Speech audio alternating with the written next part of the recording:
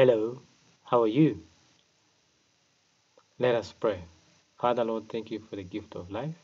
Thank you for the gift of this day. Thank you for the gift of family and friends. Thank you for the gift of Uganda Christian University. Even as we prepare to discuss through this lecture, I pray and ask you, Lord, to go before us and after us. Bless our comings and going in everything we do. Let you be at the forefront. I pray and ask for all this through the name of Jesus Christ, our Lord. Amen. Welcome, students. This lecture, we are going to talk about market research and selection. As an introduction, what is market research all about? So, market research is the process of gathering and analyzing relevant information from economic indicators and emerging trends within a particular industry and the competitive environment of the product or service a company wishes to ensure. So the process of carrying out or gathering information about a particular phenomenon is what we're calling research. Before you start your business, before you endeavor into this venture called international procurement, carry out research, find out from those that have been there before you what challenges are they facing? What kind of competition are you likely to face? Who will help you and who is not going to help you? Who your competition is? You need to do research.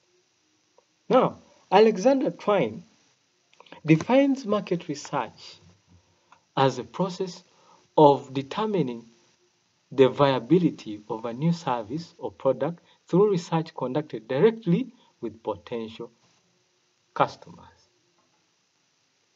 Now, this definition brings you to a point. There was a time when they were introducing a new newspaper. So, this particular proprietor decided to print the first copies and then give them out to potential customers and ask them for their feedback. When you're introducing a new product into the market, produce samples, produce prototypes, and give them out and see how customers react. Then gather that information to help you make future decisions. So, what are the benefits of market research? One of them is to identify qualifiable suppliers or contractors that can provide goods or services to the organization. As you walk around, as you check on your competition, you're going to find people that are willing to deal with you. Those are the potential contractors or suppliers. Okay? Number two, to determine an appropriate strategy for solicitation, evaluation, and assembly of bidders lists.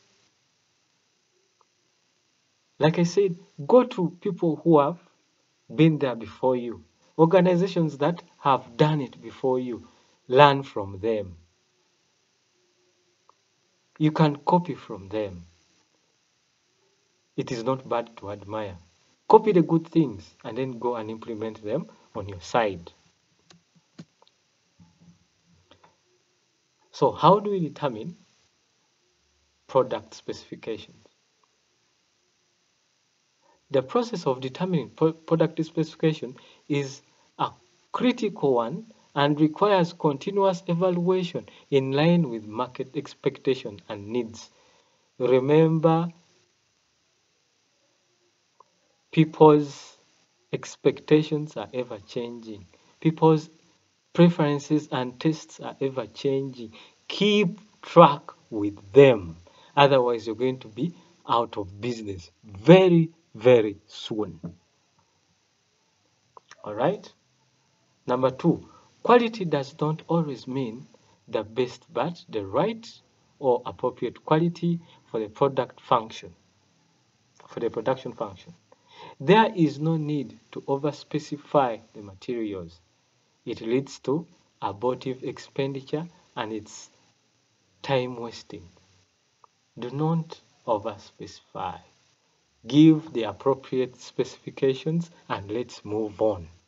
Otherwise, you're going to waste a lot of time in the nitty gritties of a particular product or a particular process. Then we have getting specifications right is fundamental in obtaining the quality of goods required. Yes, and yes, and yes. If you, the procurement department, get your specifications right and you submit them to your supplier and the supplier gets them right, then you're going to get the right required products without any delays, without any concerns. Okay? So we have we go to the next section, which is supplier or market selection. Now here, supplier can be the same as the market selection. How do we select?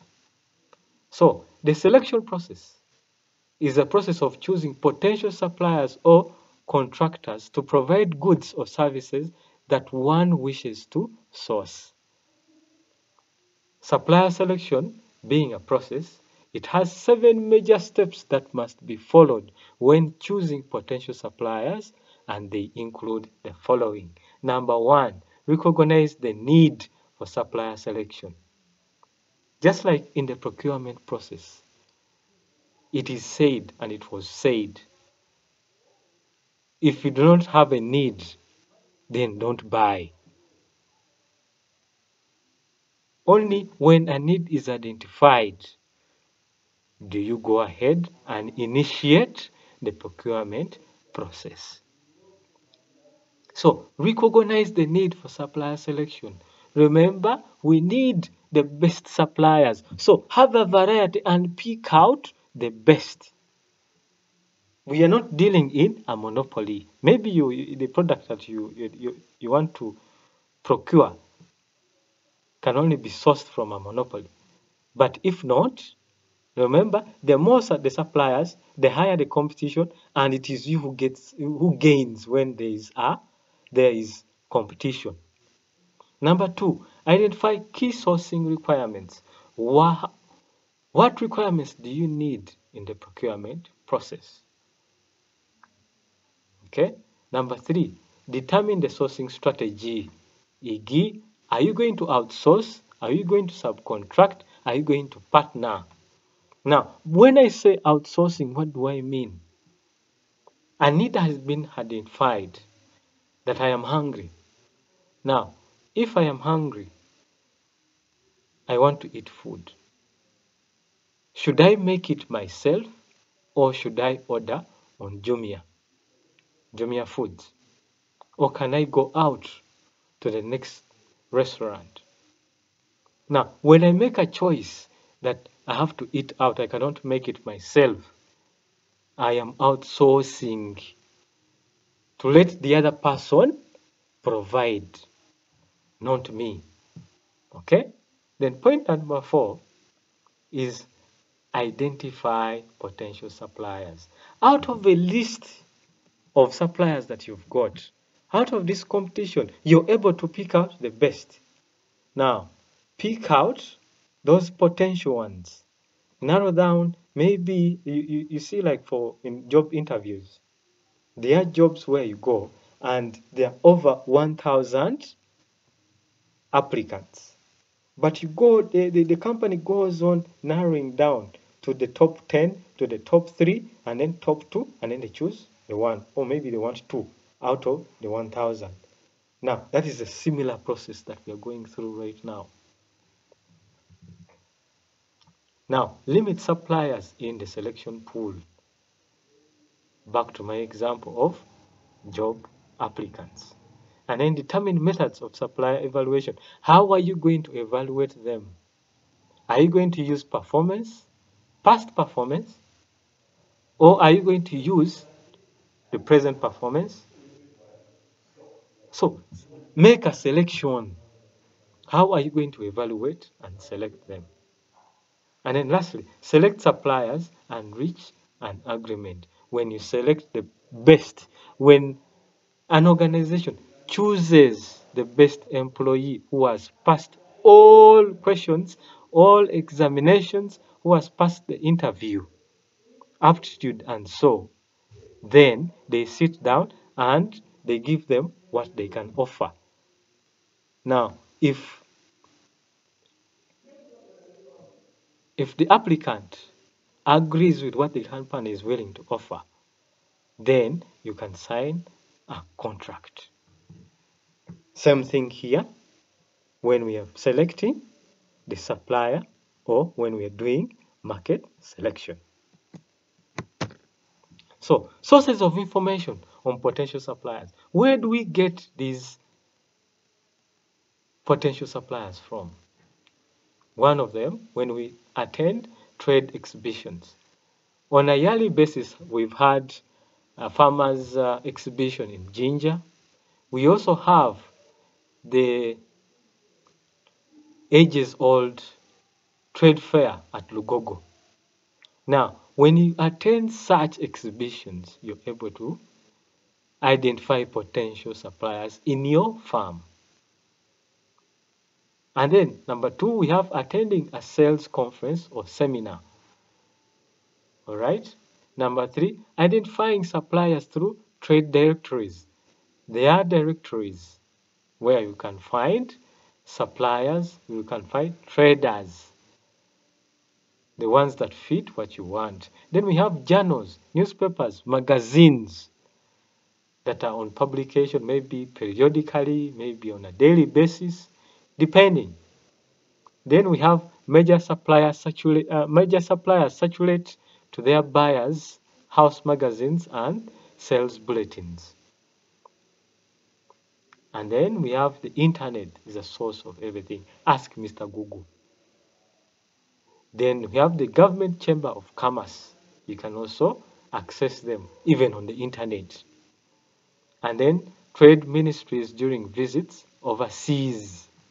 Remember, we are dealing in international procurement. So when the minister or a delegation from the trade ministry visits a particular country, they come with these brochures. They come with all sorts of information that you can that can actually be helpful to you to select a particular provider, service provider, or a particular supplier of whatever you need. So what is the criteria for evaluating potential overseas suppliers? One of them is the management capabilities. So assessing potential suppliers' management capabilities is difficult but important. After all, management runs the business and makes the decision that affect its potential operational operations competitiveness and the products. So how well is the management of that supplier? The supplying organization, how well are they run? Okay, the management capabilities. And then we have the financial stability. Now, in terms of finances, we are looking. There's a person you're going to choose that you're going to be my supplier of this product. And then this person from the onset says, at least pay for me, uh, pay me at least 75%. I don't have money to produce what you are asking for. Then such a person is not the right person to deal with.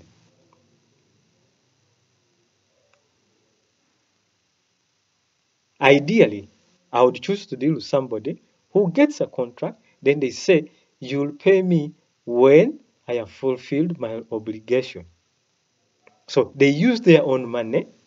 They are financially sound. They use, they use their own money.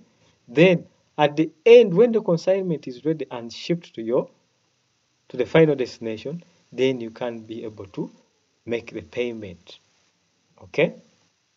Now, check the financial stability. I've given you two scenarios where one really doesn't have the capacity to produce they need you to pay them so that they can produce. And then another one is willing to produce, put in their own money, inject their own money, and then at the end of it, you make a payment for what they've done. I would rather deal with the last one. Then we have the employee capabilities. So the employees that the supplier has, how qualified are they? Are they mediocre employees? Check it out. And how will you know that? You're going to do market research. The quality management. Now, we are looking at the flow of information. We are looking at the products themselves. Are they able to give you quality products? Next, an important point to note is what is that working in an organization that is registered with ISO would wish to work with suppliers who share the same dedication to quality. This also goes back to quality management. Then we have process design and technology. What kind of technology are they using? What kind of technology is this particular supplier that you have chosen still using? You'll find somebody who is still in analog, and today technology is defining the way things are done. I'll not go with a supplier who is still analog. I want a digital supplier. In conclusion, it is incumbent upon the procurement function to ensure that the suppliers that work with the organization are properly selected and due diligence is done before they are qualified. This should be done to reduce waste, save time, and reduce cost. Thank you so much. May the Lord bless you.